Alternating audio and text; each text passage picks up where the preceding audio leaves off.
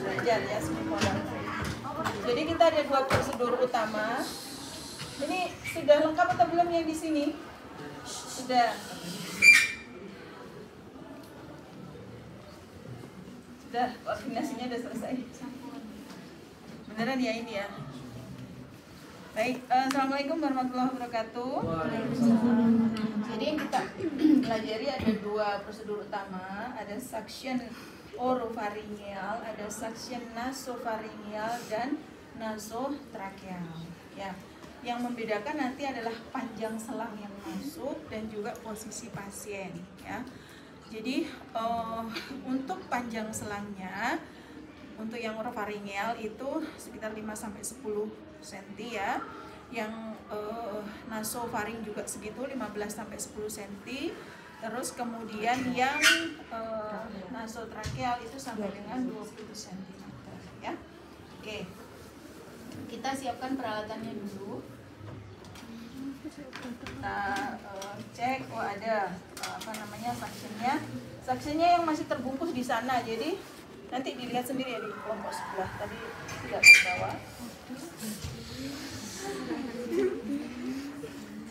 Jadi ini ada yang mengulang, enggak? Bukan, enggak mengulang dari yang tadi. Ya udah, oh, saya pikir mengulang, wajahnya sama semua. Dan enggak bisa nggak bisa ini tahu mana yang beda mana yang sama. Baik, Em, caranya adalah hampir sama seperti ini ya. Jadi tinggal dibuka ujungnya gitu dari tulisan opennya gitu ya. Tulisan open, terus kemudian kita pakai sarung tangan baru diambil dengan sarung tangan steril. Di tangan yang dominan gitu ya. Oke, itu untuk yang eh, dari bungkusnya yang masih terbungkus ya. Terus kemudian eh, kita ambil ya eh, normal saninya 10 sampai 20 mili ya sesuai dengan kebutuhannya. Tidak ada kewajiban khusus berapa mili, nggak boleh lebih, sisa boleh dibuang dan sebagainya ya. Terus kemudian em, kita scrub dulu dan kita janji ke pasien ya, kita kontrak ke pasien. Bapak, eh, saya Nustina, saya hari ini akan melakukan penghisapan lendir ya Pak ya di mulut dan di hidung dan di tenggorokan Bapak ya.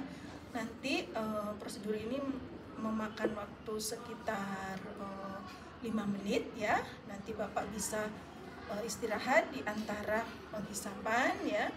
Terus kemudian kalau misalnya ada yang tidak nyaman Bapak sampaikan ya. Oke. Terus kemudian kita berikan pasien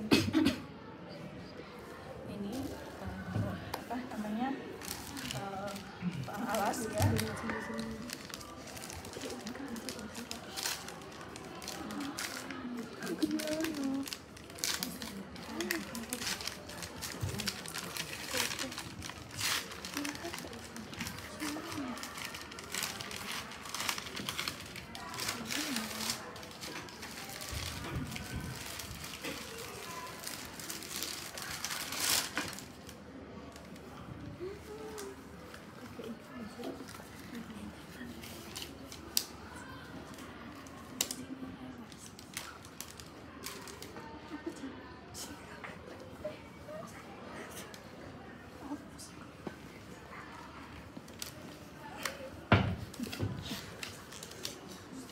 Ya, Sun.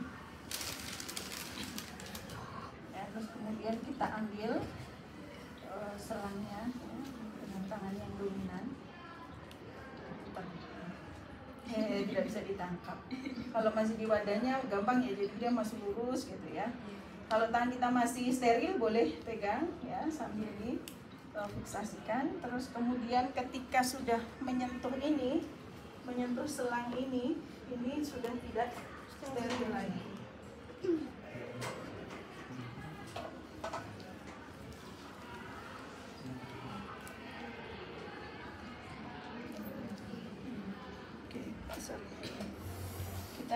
cobakan dulu ya. Ini sulit ya, biasanya alatnya di sini juga sambil lihat gitu. Muter-muter. Ya, berarti tidak ada hambatan ya untuk alatnya ya. Terus kemudian untuk eh, bagian orofaring kita masukkan di sekitar gusi pasien ya. Jadi gusi itu kan melingkar ya. Mulai dari ujung gusi yang terjauh ditaruh dulu, terus kemudian nyalakan alatnya, baru dihisap. Dihisap sambil diputar di sekitar gusi. Di, di gusi yang sebelah sini juga gitu. Di telak eh, dilatar dulu, terus kemudian baru dihisap. Kemudian di eh, bagian dalam bawah lidah, ya ditaruh dulu alatnya, terus kemudian dinyalakan baru dihisap nah, satunya juga seperti itu bagian orofaring bagian faringnya dimasukkan sampai 15 cm permisi ya oke dimasukkan terus kemudian dinyalakan. Dihisap sambil diputar ya. Oke.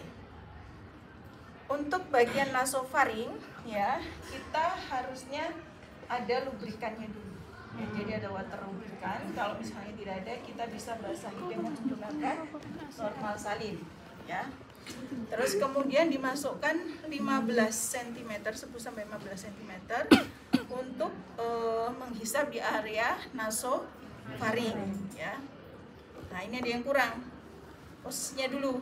Uh, posisinya dulu diberikan dulu kalau untuk nasofaring. Collar bisa enggak tolong posisinya collar Nah, kembali kembali kembali. Ya, terus terus.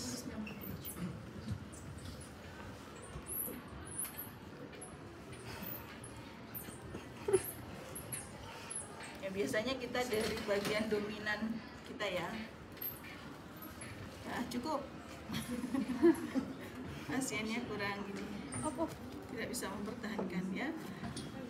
Oke ya seperti itu. Terus kemudian uh, pasien nggak boleh nunduk ya. Jadi dia harus uh, ekstensi. Ekstensi kita kan begini ya. Nah ini hiper ekstensi. Jadi nggak perlu hiper ekstensi jadi ekstensi saja ya terus kemudian uh, apa namanya kita berikan lubrikan masukkan ketika kita minta pasien untuk tarik nafas ya. Ini nggak apa-apa diinjak selama tidak di uh, tutup ya. Kalaupun tidak diinjek juga tidak apa-apa ya. Yang penting tidak ditutup. Masukkan tarik nafas ya pak ya. Kalau nasofaring 15 cm kalau nasotrakeal 20 20 masukkan sampai 20 tarik nafas. Apa tuh tarik nafas terus? Enggak. Ya jadi sekali perintah aja tarik nafasnya sekali perintah. Apakah pasien nahan? Tidak juga. Jadi uh, refleksnya dia aja. Kalau dia mau lepas ya tidak apa-apa. Kan ada uh, hidung yang satunya ya itu setelah 20 itu uh, atau sampai mentok. terus kemudian ditarik 2 sampai 1 sampai 2 cm ya setelah itu baru dilakukan penghisapan dengan diputar ditarik dan diputar. Ya. Ini ya. tuh diulangi di eh, apa namanya dioksigenisasi lagi pasien kalau mau di yang satunya. Dioksigenisasi berapa? 100 100 persen selama 1 sampai 2 menit. 1 sampai 2 menit. Jadi sebelum dilakukan uh, naso apa penghisapan nasofaring atau nasotrakeal dilakukan itu ya. Saya dikasih lubrikan lagi. Terus kemudian tarik nafas ya pak ya. Masukkan. 20 tarik 1 sampai 2 cm baru dinyalakan. Ya seperti itu terus kemudian kalau sudah ya di eh, apa namanya dicabut apa ini penghisapannya sudah selesai uh, gimana rasanya sekarang Pak? Oh ya sudah lebih lega misalnya seperti itu. Saya sudah bisa batuk gitu. Pasien kadang responnya agak batuk-batuk gitu ya. Atau ada yang muntah kadangnya. Kalau muntah gimana? Oh, bukan muntah ya seperti seperti mau muntah ya. Jadi refleks muntahnya kadang terkena gitu ya. Nah, itu kita hentikan dulu. Kita biarkan pasien rileks dulu baru di uh, ulangi lagi dilanjutkan ya. Seperti itu. Di uh, buang buang di terus kemudian dibereskan alatnya cuci tangan dan evaluasi pasien Yang dievaluasi apa saja? ITV saturasi Ya, oksigen. betul. ITP, saturasi oksigen, bunyi nafas Saluran juga. nafas, iya. Ya, itu di eh, apa namanya di eh, evaluasi dan didokumentasikan. Bapak ini kita sudah selesai. Nanti kalau misalnya ada kesulitan nafas lagi kita bisa ulangi lagi. Ya, Bapak istirahat dulu ya sekarang. Terima kasih. Ada yang ditanyakan?